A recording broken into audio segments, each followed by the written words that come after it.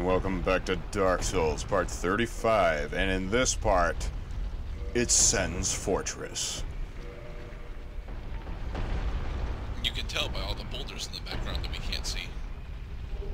And Gerdat had asked me a question off screen, which the video ironically corrects both of us on, that the Lightning Spear is an attack thrust type weapon, which deals thrust damage if you're really into thrusting. We like to do the I nice little high five. spear was, was one of the spells in the game. I thought so too. It sounds it sounds exactly like a Dark Souls weapon. It's a spear made out of lightning. We're learning. So I take it the enhanced properties of this particular weapon are that it's a very fast spear type weapon. It's yeah, that's pretty fast. And fast weapons uh, naturally are attractive because speed is king, and that's why I think that Dark Souls is the inferior between ow. And that's why I think Dark Souls is the inferior with Bloodborne because both over the top bullshit traps and a tendency to favor speed even though the shield is supposed to control the game speed.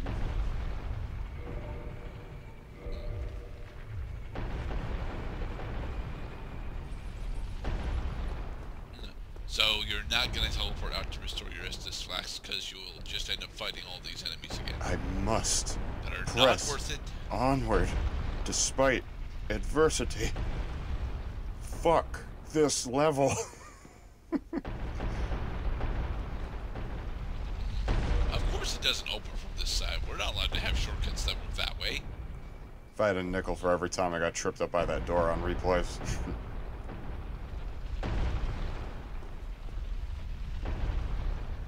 there a boulder coming?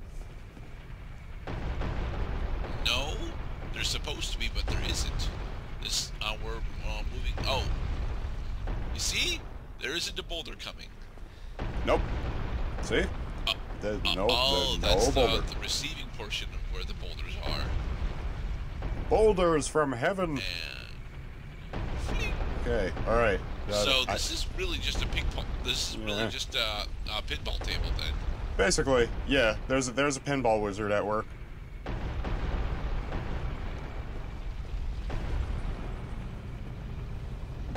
He's a boulder wizard. It has to be a twist. A boulder wizard's gonna make me pissed. How do you think he does I it? don't know. Trap. Floor trap. Called it. Um. God damn it. Yeah, you see, your roll doesn't actually disable your uh, your lower hitbox, so um, yeah, that was gonna happen. yeah, That looks like a that looks like an enemy waiting to happen. Yeah. Okay, you, he's just another decoration. Oh, okay. Uh, challenge accepted. Gotta die of something, I say. Oh, I think that that dude up ahead is No, trying to kill Clowd, him. putting uh, putting your shield in front of you will not make this easier. And I think that's when I realized the depths of the coverage of these pendulum axes is that it's there, there is no safety. The answer is go through. You go All the through one way shot through. or you die. That's right.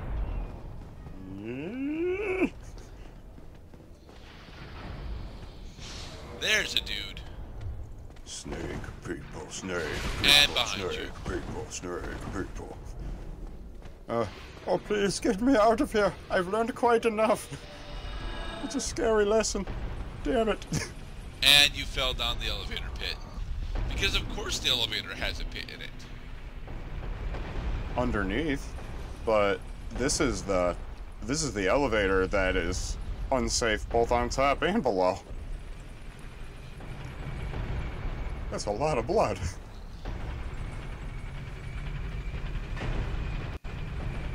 There's your exit.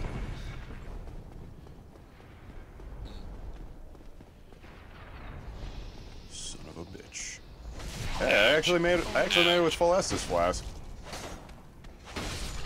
Well, yeah, all you had to do was kill the same two enemies that you've been killing, as well as uh, uh, make it through the traps, which, you know, you've gone through the traps four times now. You should be at least decently competent at them by now. Decently competent, but not much less difficult or punishing if you fail. Stupid four-armed doofy. I do like this armor set. Its lightness and its resistance to fire make it a really good uh, combination. Now, if only you could get in range to do a charge attack on, uh, on the Sen Warriors. Two large Titanite shards. I like the. I like that the Sen's Fortress warriors are basically like big human size. You could backstab them, you can parry riposte them, you can even kick their shields down. But they're snake people.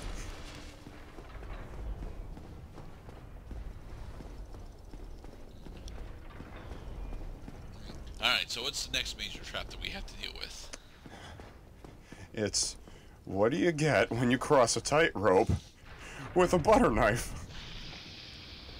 You pendulums? get toast. Oh, and bullshit.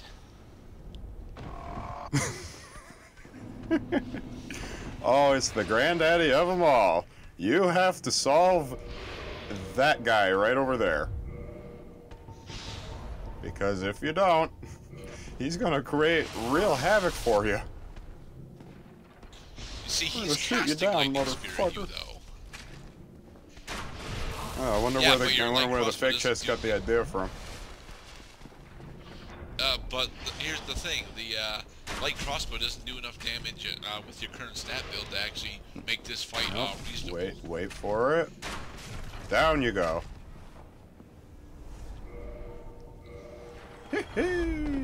Fuck that guy. I shot him off the platform. That's that. That is good game design. I would. I'd have to chalk that up to one of Dark Souls' major successes. Is good game design and enemy positioning. No, it's not. You would you would need a you would need a ranged weapon in order to go through there. And, Exactly. uh, So go get. So go get a ranged weapon. Okay, but a majority of the rest of the game does not actually have you uh, does not actually force you to carry a ranged weapon with you. well, the rest I of the mean, you game. throwing knives, but we've not actually, but we've not seen you. Yeah, the, most of the rest of the game also doesn't put these fucking bullshit pendulum traps everywhere. or necessitate True, throwing But knives. it, you know, it does it does similar environmental traps uh, like these pendulums, just not this just not with this uh, density or recursion. On the subject of recursion, there we are we are learning that Dark Souls has fewer and fewer scruples all the time. Especially doing like once per game type shit. Hello. Um, all right, so these are the fire giants that can throw uh, fiery uh, fiery explosive boulders at you, right? Precisely. Did some call me John? And you go over these guys? Okay. No, actually, Gerdat it's, did. it's fire. It's fireballs. It's uh, it, it burns. It hurts, and roll over and squirm. Oh, geez. And this is where having resistance to fire has surprisingly useful applications. Well, not if you're actually good at the game. Uh, keep moving. this guy has surprisingly good accuracy.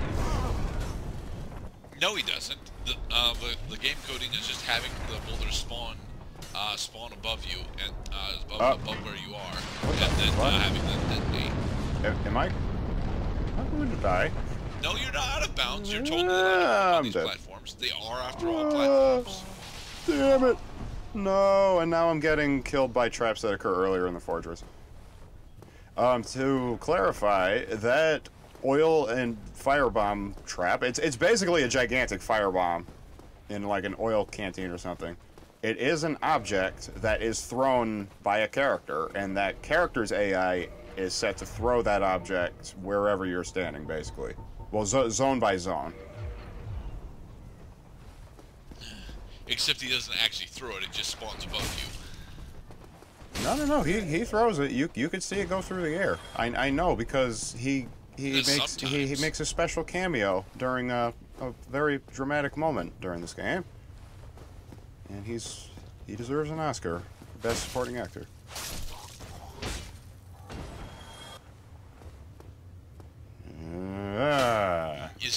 Tell that this one's a normal one because it's surrounded by three different walls. no, it's uh, All right, that's more fire resist. Yeah, that's right. It has been my pleasure to seek this perfectly placed game object. Let us equip it now in order to save our asses and our bacon. That's you don't want to take off steel protection. You want to take off the other one. No, I want I want to keep my blue tearstone ring because that thing has saved my ass like more times I can count, especially during boss runs that were successful. But the blue tearstone ring only activates when you're on low HP. You want to switch out. You want to switch out to it uh, when you're, you know, at critical health. No, you can't, dude. You can't switch your rings in the middle of a battle. Have you seen the menu system in these games? I'll, I'll, I'll grant that, but a major, but even a majority of the boss arenas have safe zones that allow you to for a. Yes, I agree. I think that the prudent player would rely on their hotkeys and their current equipment settings, not count on doing, not not, not doing the Belichick. Let's switch the special teams crew and the offense in the same fucking fourth down play and fuck the other team up.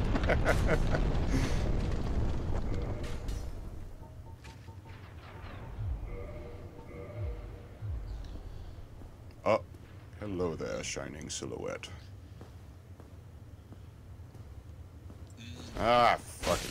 And you you failed to sneak up on the Armor Knight, so now you have to fight him. Yeah. One Oh, hit well. kill, motherfucker. That was not one. What? What? That that was it? damage- I mean, sure, but it's because you were attempted and failed to sneak up on him, and he's a lower power enemy from earlier in the game.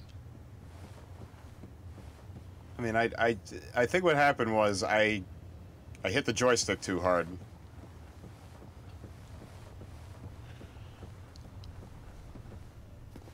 So many mysteries for this blind player. What is up the top of the tower?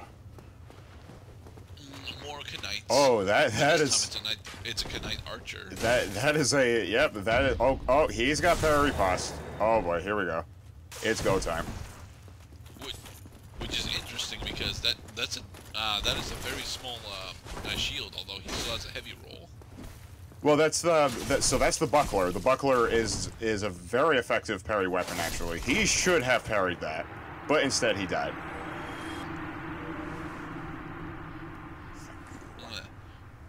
And with it, and with his death, we get Ricard's Rapier. Ungard.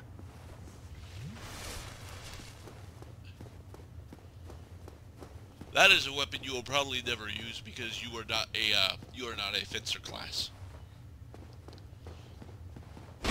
Okay, so one of these two chests should be a mimic. One of these chests doesn't I'm gonna guess it's the one on the right. The, like I, I have yet to identify the exact aesthetic difference to tell to tell the difference between two, which is probably they give, which is probably why it's, which is probably why you can aggro the chest before you try to open it, because the, there is no difference between these two.